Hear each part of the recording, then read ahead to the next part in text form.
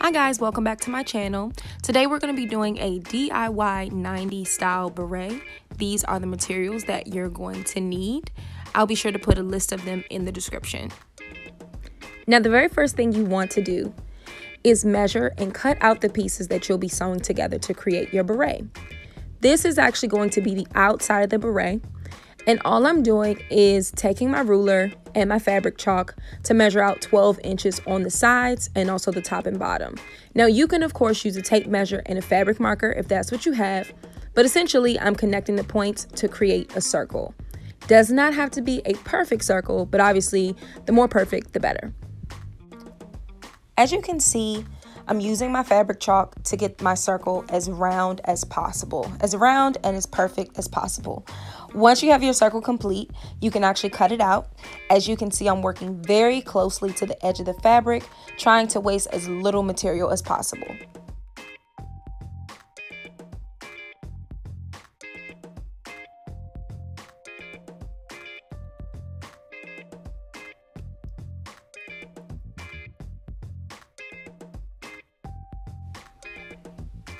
Once you have your circle cut out, you should be ready with three other pieces of fabric, two for the lining and another for the outside of the beret.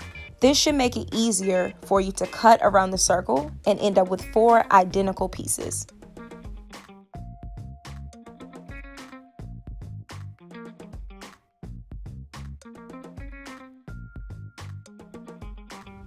Now what you want to do is take one piece of each style of fabric that you have one for the outside, one for the lining, and cut out a three inch circle in the middle.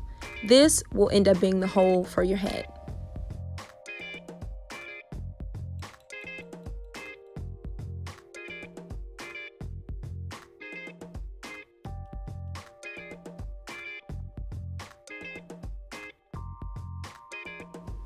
You should end up with two pieces that look just like this. The next thing you're going to do is sew your two outside pieces together with a zigzag stitch around the outside. You'll repeat this same step with the lining. One step you guys did not see me take on camera was ironing your pieces. That's also a very important step, especially if your material is as wrinkled as mine. Now, once you've sewn your two outside pieces together and also your two lining pieces together, you're going to take the two raw edges of both of those pieces and sew them together right sides kissing. Don't forget to leave one inch so that you can flip the beret right side out. Once you have the raw edges pinned together, right sides kissing, this is what it should look like, almost like a basket.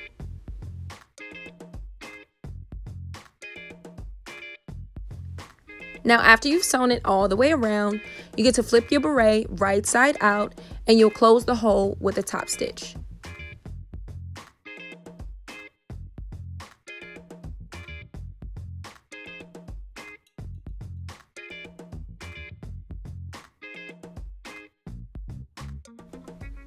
And now you see you have your almost finished product. Now to give it that early 90s flair, I used the rhinestones. You don't have to, of course, but fortunately I had these laying around in an arts and crafts drawer and I was able to separate out a few colors that I thought went really well with the material that I chose. I chose my placement ahead of time and used my E6000 glue to glue down each individual rhinestone. And there you have it, our first DIY of the channel. I hope you guys like this video. Please be sure to subscribe, like, and share. And if you post any DIY berets, please tag us. I'd be happy to share your photos in our next video. Thanks, and we'll see you next time.